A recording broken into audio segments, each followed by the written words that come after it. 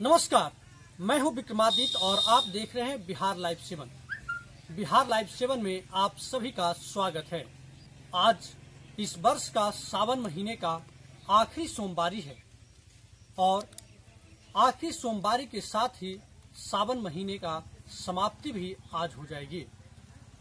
आज देश भर में भाई बहनों का पवित्र पर्व रक्षाबंधन बड़े ही धूमधाम से मनाया जा रहा है। सावन महीने के अंतिम सोमवारी के मौके पर आज हम आपको एक ऐसे शिवलिंग के बारे में बताने जा रहे हैं, जो अद्भुत है। अद्भुत इसलिए क्योंकि उस शिवलिंग पर समुद्र दिन भर में, चौबीसों घंटे में न जाने कितना बार जलाभिषेक करती है। एक ऐसा शिवलिंग जहाँ समुद्र की लहरें आती है और पूरा शिवलिंग पानी में ढक जाती है और समुद्र की लहरें जाती है तो वो लोगों को दिखाई देने लगता है। आइए आपको बताते हैं उस रहस्यमय शिवलिंग के बारे में। नमः शिवाय शिवाय। जी हाँ हम बात कर रहे हैं गुजरात के तीप शहर से तीन किलोमीटर दूर पर स्थित फादूम गाँव में गंगेश्वर महादेव शिवलिंग एवं मंदिर का। गंगेश्वर शब्द का अर्थ भगवान शिव होता है, जो अपनी जटाओं में गंगा समेटे हुए हैं। यह मंदिर अपने आप में अद्भुत है, क्योंकि यहाँ भगवान शंकर की शिवलिंग एक वर्गाकार नुमा गुफा में स्थित है, जहाँ समुद्र की लहरें शिवलिंग पर आती है और सभी शिवलिंग डूब जाते हैं। थोड़ी ही देर बाद सभी शिवलिंग पुनः निकलकर लोगों को दर्शन देती है।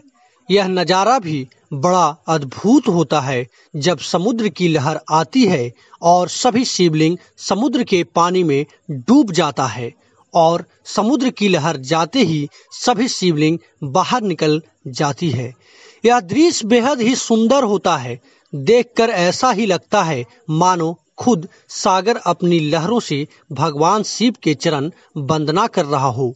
इसका इतिहास भी महाभारत से जुड़ा हुआ है। माना जाता है कि इस मंदिर में स्थित शिवलिंग महाकाल की है और इन्हें पांडवों ने अपने अपने शरीर के आकार के अनुसार स्थापित किया था। इसलिए शिवलिंग भी बड़ा और छोटा है। इस मंदिर को समुद्र तट पर होने के कारण सिसोर मंदिर के नाम से भी जाना जाता है। जो भी गुजरात जाता है, एक बार गंगेश्वर महादेव की दर्शन करना ज़रूर चाहता है। अगर आपको भी मौका मिले गंगेश्वर महादेव से दर्शन करने का तो बिना दर्शन किए हुए नहीं लौटे। क्योंकि आस्था में विश्वास रखने वाले लोग कहते हैं कि गंगेश्वर महादेव अपने भक्तों की मनोकामना पूर्ण करते हैं। मनोकामना पूर्ण करते हैं या नहीं, इसकी दावा तो हम नहीं कर सकते हैं, लेकिन इतना ज़रूर कहेंगे कि गंगेश्वर महादेव के पास जाने के बाद ऐसा लगता है, मानो कोई अद्भुत जगह पे आ गए हैं और हर कोई वहाँ जाकर सुकून महसूस करता है। वो समुद्र की लहरें जो शिवलिंग को अपने पानी के अंदर डुबो देता है और फिर पुनः निकलता है यह दृश्य आँखों के सामने बहुत ही खूबसूरत लगता है और इस दृश्य को देखना हर बार लोग चाहते हैं। यह वीडियो आपको कैसी लगी यह कमेंट बॉक्स में ज़रूर बताएँ और अगर वीडियो पसंद आई हो तो शेयर ज़रूर करें। अभी के लिए बस इतना ही फिर मिलेंगे किसी अन्य मुद्दे के साथ। तो करेंगे फिर और बात। तब तक लगातार खबरों के साथ बने रहने के लिए देखते रहें बिहार लाइव सेवन। अगर अब तक आपने बिहार लाइव सेवन के यूट्यूब चैनल को सब्सक्राइब एवं फेसबुक पेज को लाइक नहीं किए हैं तो अभी कर लें।